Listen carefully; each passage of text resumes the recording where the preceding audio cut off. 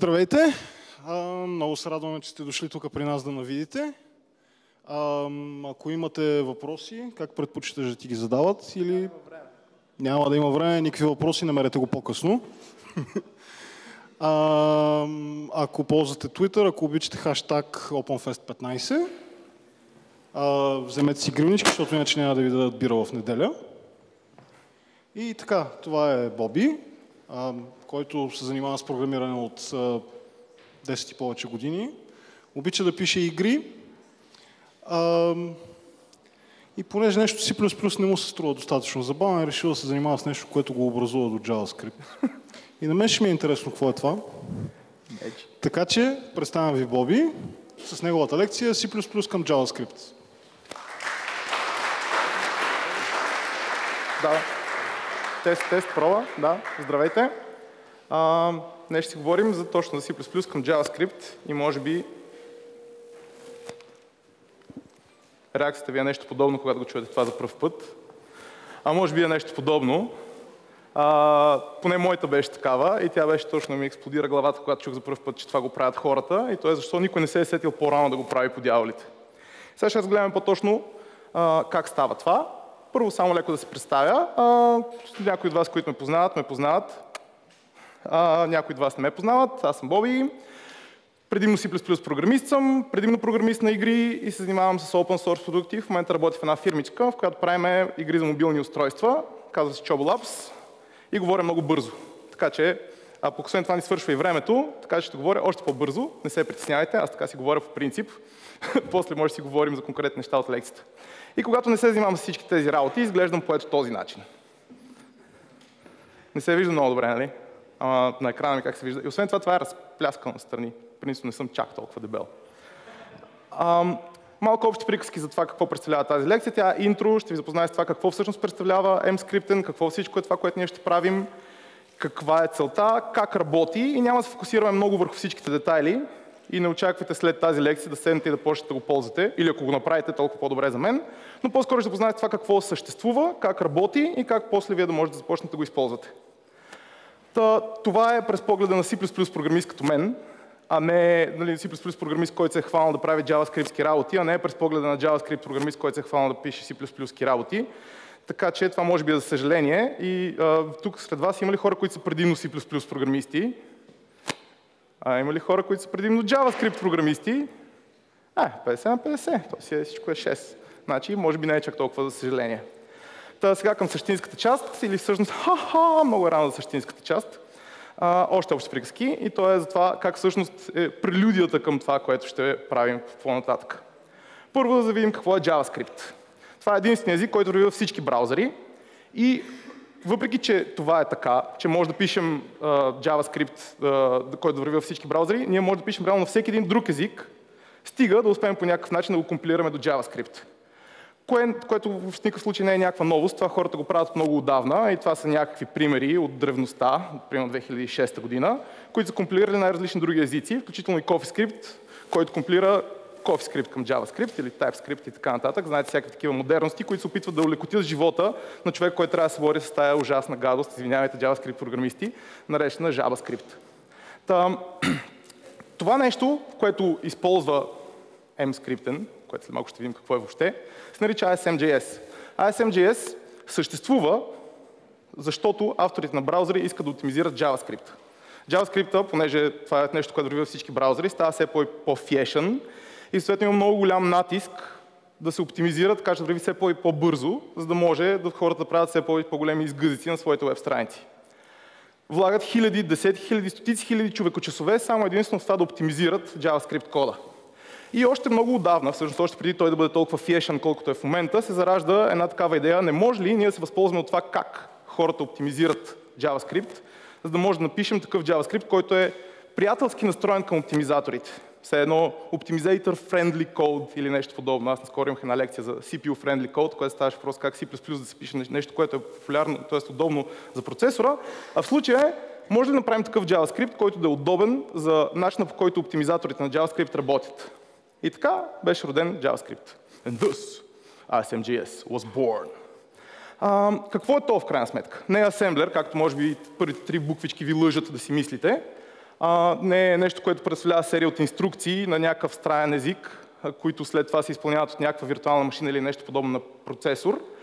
А, такова нещо е WebAssembly, за което няма да си говорим въобще, но ако искате после може да поговорим насаме с него, за него. А, това е спецификация за използване на подмножество от JS. Всъщност точно тази спецификация. Какво е това подмножество от JavaScript, което ние може да използваме, така че кодинг да върви оптимално бързо, така че всеки един оптимизатор за JavaScript да може да се справи с него по възможно най-добрия начин. Та в него има много основни положения, но най-най-най-фундаменталните са две. Първото е, че всички интеджер променливи са силно типизирани. И сега виждам как някой маха сърце, ама JavaScript няма силно типизирани неща. В крайна сметка оптимизаторите са така направени, че работят така, че да има силно типизирани неща, когато типа е ясен с мод деклариране на променливата. Това се прави с един такъв хак. По битов OR на променливата с нула, което по никакъв начин няма променя, обаче подсказва на интерпретатора, когато мине за първ път от там, че това ще е целочислено 32, 32 битово число и той казва, ами хубаво, тогава ще го ползвам като такова. И реално, ако това се окаже, че не е 32-битово целочислено число, ще имаме краш, exception и така нататък, но в правия случай, когато това е такова, ще минем по най-бързия възможен начин. Другото основно положение е, че нямаме заделена памет, което значи, че нямаме new. Ама как е възможно това? Еми възможно, като се делим предварително паметта.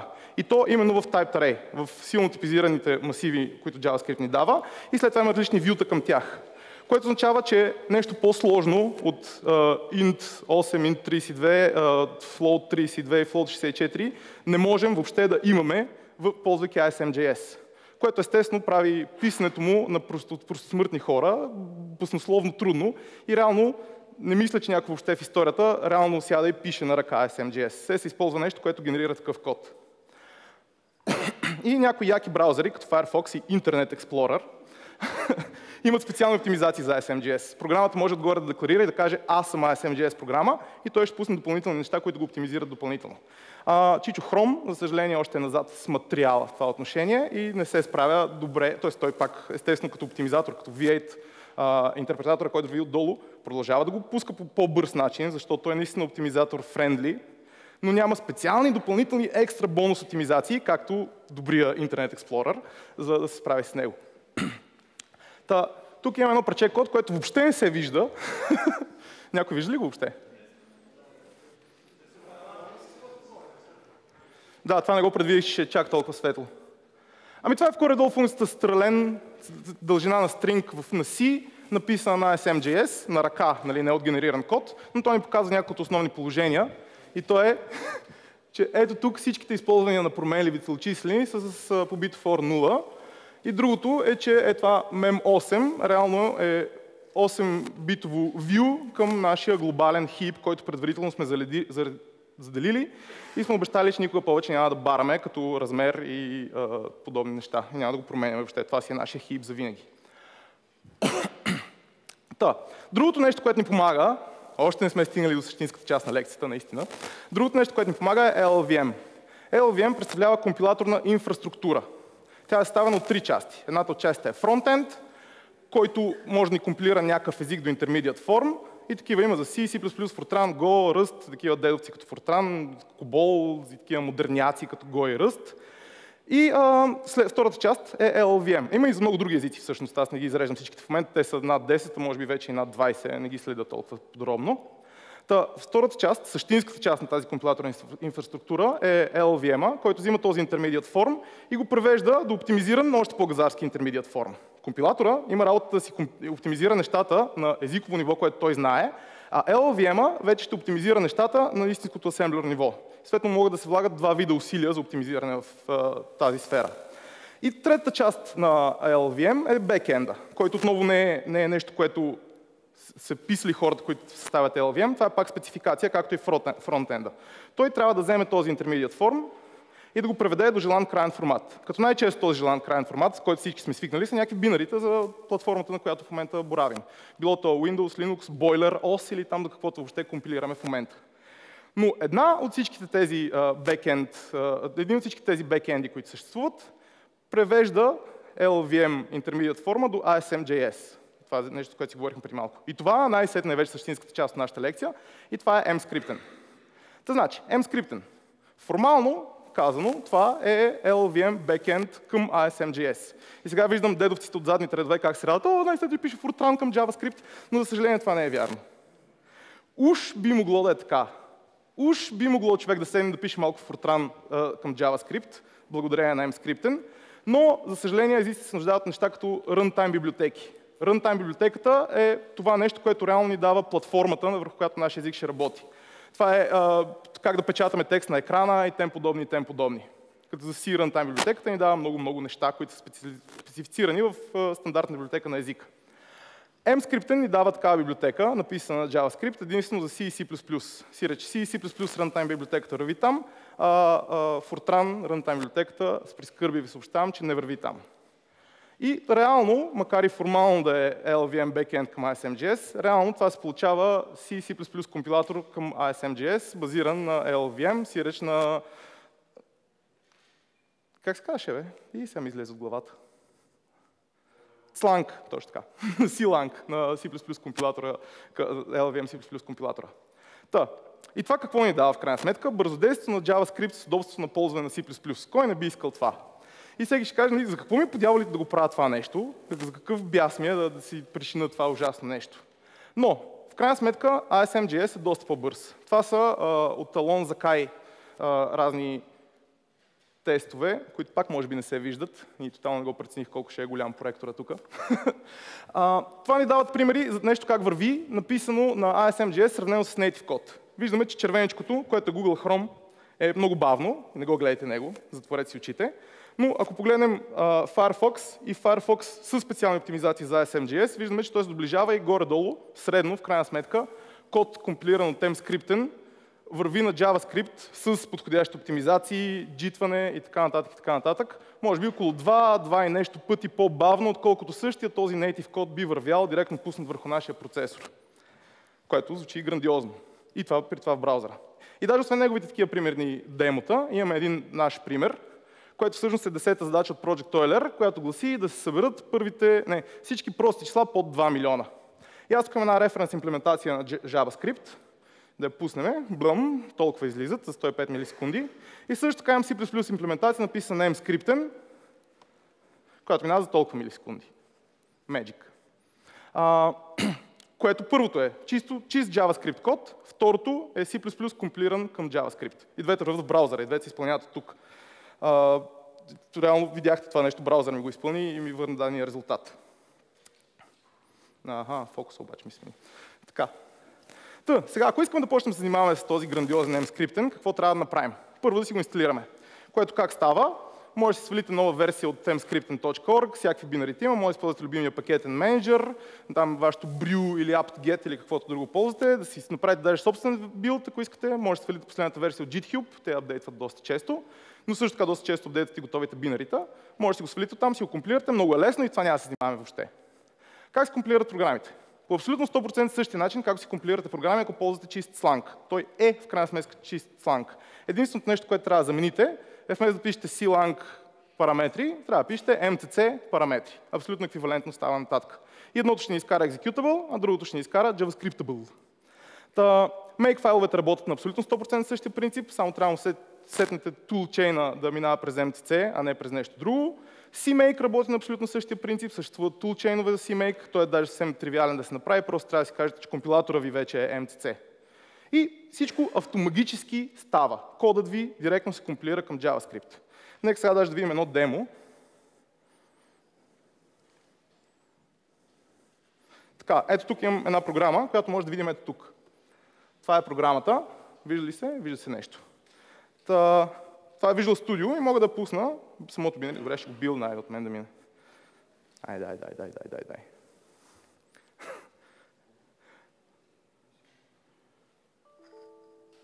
Да си дигна микрофон. Какво? А, добре, окей. Какво стана? Аха, добре. Това не е екзекютабл. Това е направено през CMake в крайна сметка, за да използвам абсолютно един и същи проект за всичките неща. Добре, окей. Okay. И така, в крайна сметка това намира числа, които са двоични е, палиндроми в двоичен вид и по някаква случайност 93-я палиндром в двоичен вид е ето това нещо, Hello Open Fest 2015. Ей! каква е случайност, че 2015 е двоичен палиндром. Но освен това, ако отидем ето тук, как може да го билнем? С C-lang бихме го билнали, ако напишем нещо е такова. Ето, аз обаче няма да пиша C-lang. Ще напиша, а, програмата се казва Hello OpenFSCP. Ще изкараме в някакъв файл как да го кръстиме. off.js и това като цяло не трябва, се занимаваме с другите компилационни настройки в момента. Magic, Magic, Magic се случва отзад. Превежда се към LVM, LVM се превежда към ASMJS и вие нищо не виждате оттам, нали?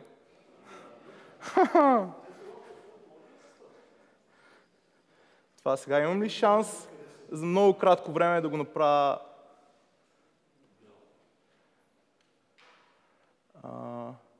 screen background бял, screen text църно. Какво ще стане сега? А, Magic. Така, това между другото го компилира и сега може да имаме JavaScript файл, който JavaScript файл в момента няма как да го пуснем, освен с нещо, което е Node. Как го кръсихме? Off. Off. Писнаме това име. И магически се изпълни цялото това нещо. И да, както току-що видяхте, реално нашите C++ програми може да ги пускаме и с Node. И вместо да действаме като добрите стари хора и си правим native плагини за Node, ние може да си правим JavaScript плагини на Node, написани на C++. Колко интересно е това. А, Друго нещо, тук това естествено работи с CMake и сега даже ще направим нещо е такова. Какво ще стане, ако направим е така? Е, това ще ми генерира CMake буклици, за да ми билне това нещо. Влизам в тази директория.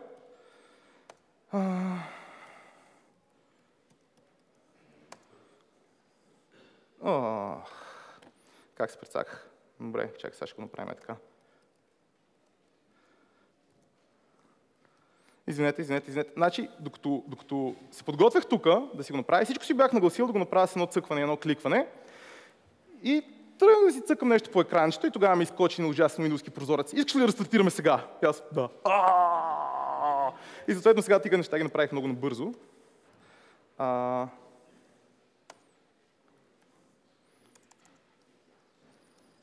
Къде си ти, бе? Оп. А, Magic.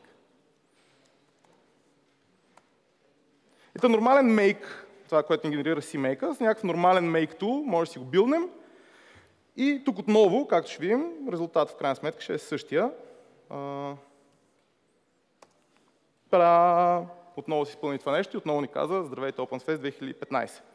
Друго нещо, което е интересно и може да направим, е, че можем всъщност, освен а, този JS, който да пуснем през Node, може да генерираме и HTML, което просто трябва да сменим output. Ето колко сменим, опа. Ето колко сменим output файла да е HTML, а да не е JS. Добрият стар M-скриптен ще ни свърши същата работа и ще ни генерира един boilerplate HTML, който просто ще съдържа нашата програма в някакъв глупав формат. После ние може да подминем HTML, както на нас ни падне. И какво ще ако отворим това сега? Интернет Explorer. И тук сега ще трябва много по-бързо, отколкото на хрома, на който иначе съм го пуснал. И тук знам, че не се вижда на този черен фон, но пише Hello OpenFest 2015. И така е. Вижте колко просто и лесно е цялото това нещо. Като цяло минимални усилия се изискват от наша страна да си прехвърляме програмата от uh, binary build към uh, mscripten build. Та, нататък. Това естествено ни вкара в някакви такива ситуации, в които ще, ще имаме програми, които едновременно изпълняват и JavaScript, написан от JavaScript програмист на JavaScript, и C++ код, който е генерирал JavaScript. И двете неща почват да се умешат по някакъв начин. И сега какво става в тези ситуации? Та, първо, как изглежда C++ кода през JavaScript кода? Там има един клас наречен модул, който е реално съдържа целия C++ свят. Модул ни дава елементарен контрол върху програмата от JavaScript страната. Позволява ни, примерно, да си зададем console.io на модул, ако направим два метода, те ще получават стрингове, които са реално std out резултатите от C++ кода, или пък ще може да дадем метод, който даваме std in данни за C++ кода. Друго нещо е, че може да си дадем там command line аргументи, защото, както знаете, е трудно да пуснеш HTML с command line аргументи, аз поне не знам как. И може да какви ли други буклици може да правим? Примерно стартираме ли с зареждането на страницата, правим ли това, правим ли това, някакви такива настройки и глупости. Друго нещо е, че модул ни дава две такива функции, които ни позволяват да викаме C функции от нашата програма. Наблягам на оп, наблягам на C, защото тези функции трябва да са екстерн C. Защото иначе C++ name demanglinga, т.е. name manglinga, не знам дали знаете, но почва ни умешва много лошо имената на функциите, а C не ни го умешва много лошо, просто ни слага една долна черта отпред. И реално, ако в нашия код имаме екстерн C функция, която се казва foo, след това в JavaScript кода ще можем да напишем модул C call долна черта foo и това ще ни изпълни нещата, както самата C, функция. Сиреч ние може по този начин да пишем C, C++ библиотеки, които просто имат екстерн C а, интерфейс и да го използваме директно от JavaScript, като мъжете. Друго нещо, което ни дава е вече да смесиме и C++ с JavaScript и това е mbind библиотеката. Това е библиотека, ако някой се занимава с Boost Python или LuaBind или нещо подобно, тя много прилича на него. Това е серия от темплейтни гаври, които ни позволяват да експознем C++ типове и класове към JavaScript, така че там да изглеждат като JavaScript типове и класове. и всичко, което експознем през mbind, отива в модул класа. Примерно си използваме класа Kiro и после module.kiro ще е този нашия C++ клас, погледнат от JavaScript. Та, сега, JavaScript погледнат от C. И тук отново наблягам на C, а не на C++. Няма някакъв начин, освен през mbind, чрез някакви странни хитрости, ние да можем да виждаме нещата, примерно клас в JavaScript, да го виждаме като клас в C++. Просто не, не става.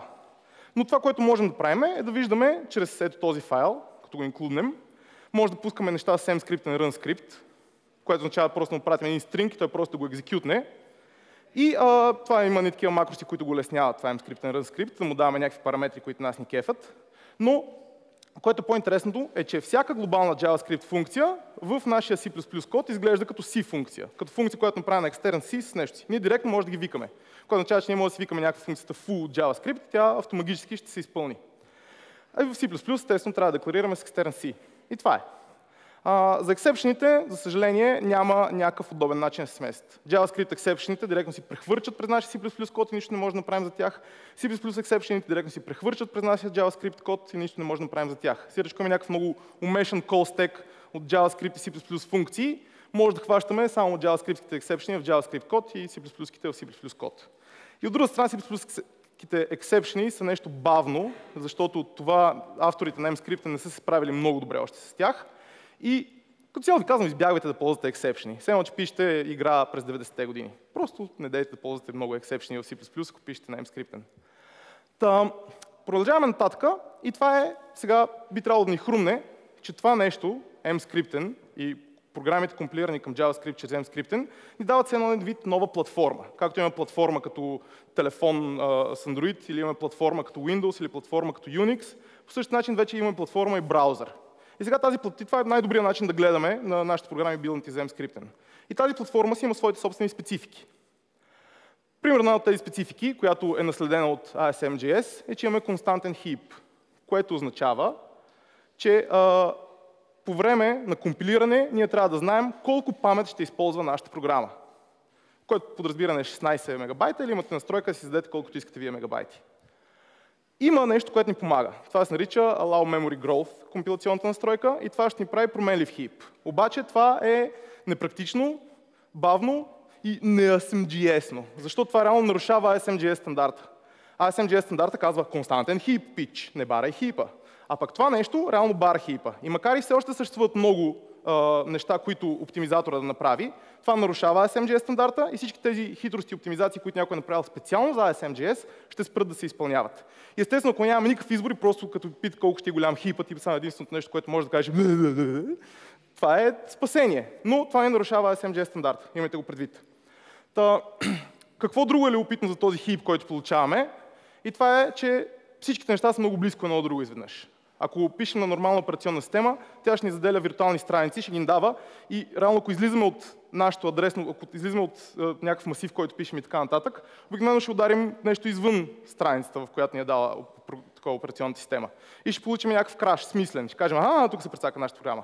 В MScript всичко е много близко едно до друго и много често ще се омазва паметта. Така че най-добре е да си дебъгвате програмите с Valgrind или на native кода, а пък да ги пускате в крайен случай само тогава в MScript и там да не се опитвате да дебъгвате много естествено има някакъв платформ specific код, който ще трябва да го правите. И по този повод, понеже хипа е просто масив с индекси, но pointer reference не е проблем. Вие може да си кажете на нулевия адрес да му кажете някаква стоеност и той ще каже, да, това е просто първи адрес от моя хип, няма проблем, пич. И ако сте свикнали да ви крашват програмите, когато правите null pointer reference, тук това не се случва. C++ ви null pointers са абсолютно валидни адреси към първия байт в паметта. Няма проблем. Друго, което е любопитно обаче, че имаме един такъв интересен edge case, благодарение на този константен хип, който ни позволява, който има програми, които реално, написани на, на C++ компилиран към mscripten, в браузъра върват много по-бързо, отколкото програми, пуснати директно като бинарита на процесора. Защото операционната система, когато кажем да заделя памет, тя трябва да прави много-много сложни операции. Те са много набройни, но трябва да ги синхронизира, да й намери свободен пейдж, да го нулира евентуално, ако е пълен с някакви тайни данни, пароли, какво ли още не. И какви ли не други буклуци трябва да направи операционната система, за да ни даде памет, когато заделяме. В случая обаче, понеже имаме такъв константен хип, той пак има менеджер, за да може да ни даде винаги подходящо количество памет, но това го прави доста по-бързо, отколкото операционната система. И ако напишем програма, която се спуква да заделя и освобождава памет, и това е почти изцяло основната дейност, така излиза, че реално в браузъра тази програма върви понякога и многократно по-бързо, отколкото пусната на процесора. Това е любопитен факт, не мисля, че такива програми в реалния живот някой ще тръгне да пише, но се случва. Та, другото нещо за платформата, друго нещо за платформата браузър е файл input-output. И тук има нещо хубаво, и то е, че работи. Работи с local storage. Когато искаме да отваряме и да пишем файлове, това го прави с HTML5 local storage на нашия браузър. Обаче, за съжаление, ако не ви хрумва, нашите ресурси, които обикновено искаме да ползваме с нашата програма, ги няма там на local storage. Ние като си заредим една страница, local storage е празен. Казват, ми хубаво, аз съм local storage, какво да правим сега? Та, това, което може да направите, самия компилатор ни дава специални настройки, които ни дават да прелодваме и да ембедваме файлове в нашата страница. Значи да ги ембеднем означава директно се вкарат в HTML. Да ги прелоднем означава да се напише един скриптец, който когато нашата страница се зарежда, тия файлове директно се пишат на самия local storage на браузъра.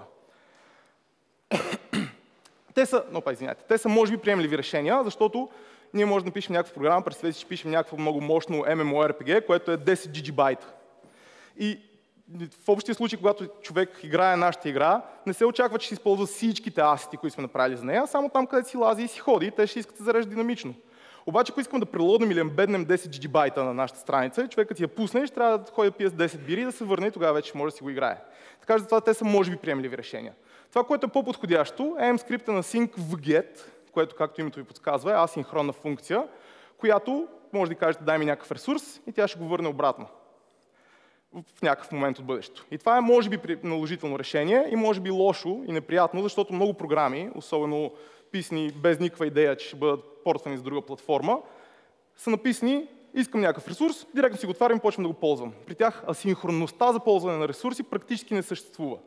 Много малко програми са писани директно с възможност за асинхронно зареждане на ресурси. И затова това е неприятно, но понякога може би наложително решение. Другото нещо, което той ни дава е mscript vget което идеята му е да бъде синхронен VGET. Демек той наистина да блокира изпълнението на програмата и да върне оттам, когато сме приключили с нея. Демек да работи така, както ние ако бяхме написали директно на C++. Т.е. за native C++. Проблемът на него е, че е още бъгъв. И това е една характерна нещо за MScript, че има някои неща, които са още леко бъгави. Идеята на това нещо е, че то не може да блокира тук така страницата. То трябва да запомни целият наш стейт, да излезе от изпълнението на нашата програма, да продължи и се изпълнява другите неща по страницата и след това да може обратно да се върне в нашия стейт. И това има бъгове асоциирани с него и макар и понякога да работи, понякога не работи. Мога да ви дам един списък с бъгове по него и да видите кога точно работи, кога точно не работи, но ако имате възможност, просто пишете асинхронен файл .io. И това е. Сега, следващото нещо по платформата е директорин input и output. И за наше огромно щастие, 100% от всичките C++ функции за работа с директории работят тук без никакви проблеми.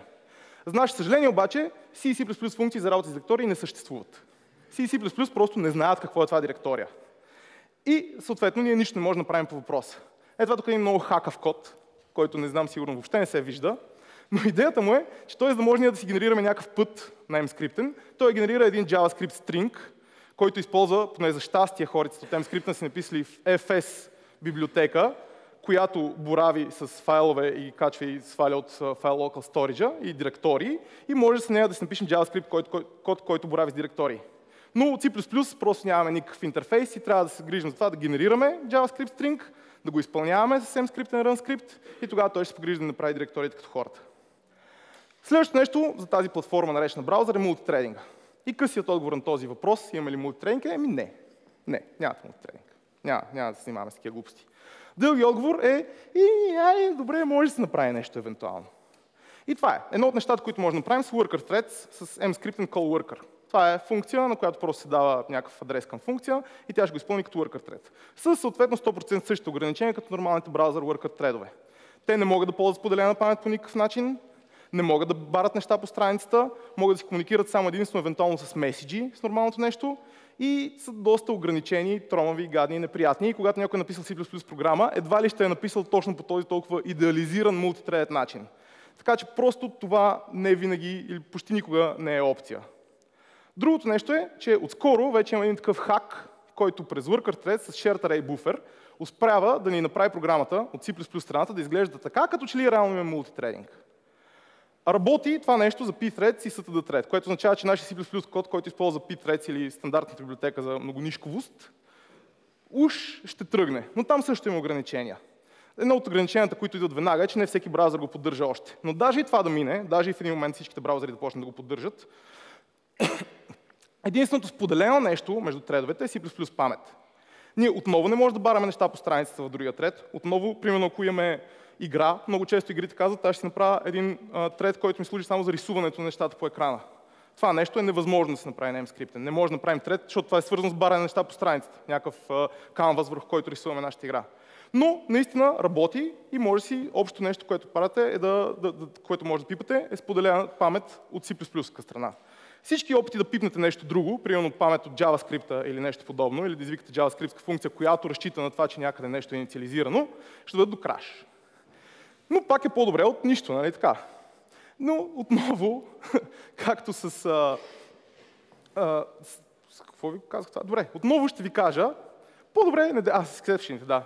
По-добре не дайте да пишете C++ exceptional код в MScripten, защото ще върви бавно. По-добре не дайте да пишете multithreading код в MScripten, защото ще вземе да крашне някъде ще чуете откъде ви е дошло това на главата.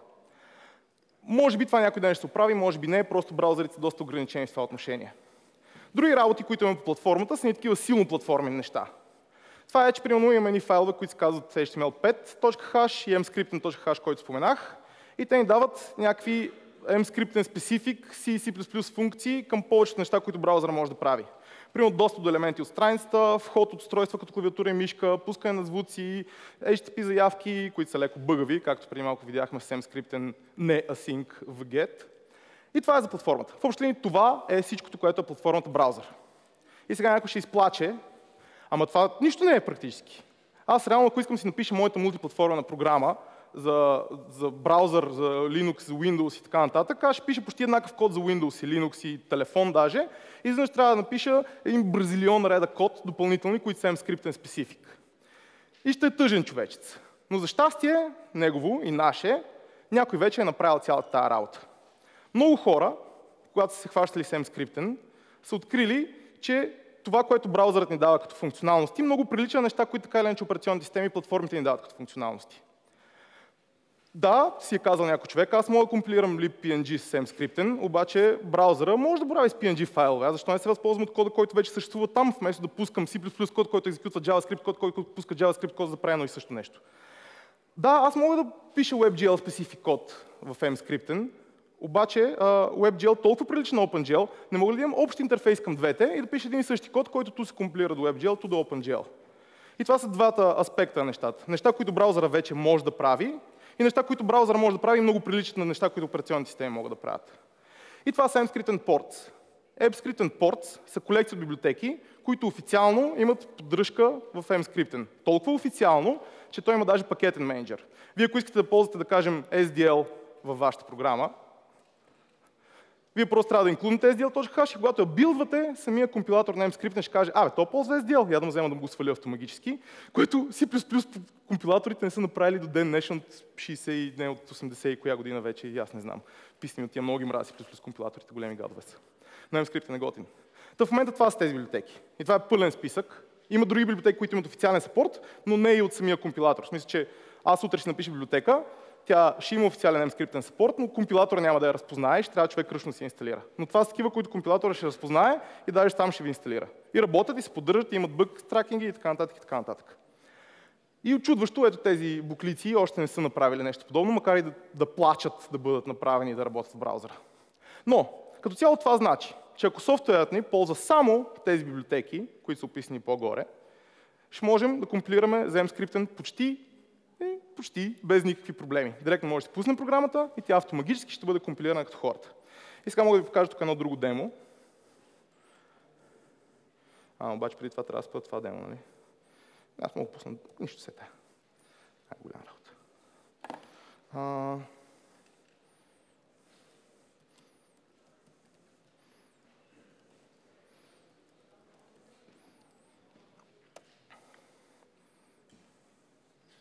Ага, Space, трябва.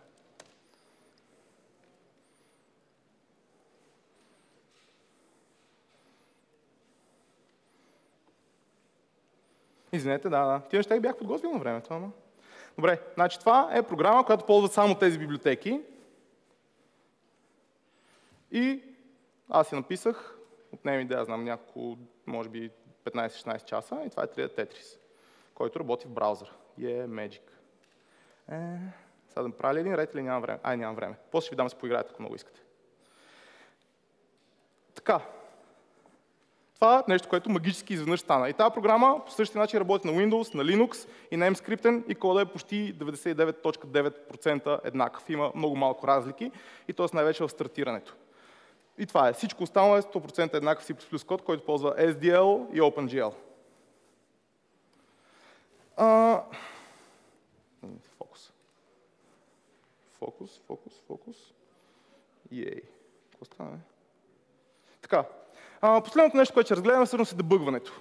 И то е сравнително неприятна операция, но ако имате опит с TypeScript, CoffeeScript или подобни езици, които компилират до JavaScript и са доста популярни в наши дни, знаете, че браузърите поддържат source map файлове. Ние може да си имаме нашия а, код на TypeScript или CoffeeScript и когато го дебъгваме, реално JavaScript, който е генериран от него, браузъра автоматически ще ни свързва с TypeScript или CoffeeScript кода ни. Със същото нещо може да го направим за C++. 100% също. За съжаление, това, което не можем да правим, а можем да го правим за TypeScript и CoffeeScript, е да гледаме стоеностите на самите променливи. Причината е, че в TypeScript и CoffeeScript променливите имат обективно изображение или съвременният термин one-to-one mapping с променливите, които са генерирани в JavaScript. А в C++ това не е така. Една C++ променлива, примерно представете си някакъв клас с 14 uh, мембра, е тотално мешавица, която се получава в JavaScript. И не можем да ги гледаме. И няма да ви покажа дебъгинг демото, но работи да знаете, защото нямаме никакво време. И като цяло това е края на лекцията и нямаме време за въпроси. Благодаря ви.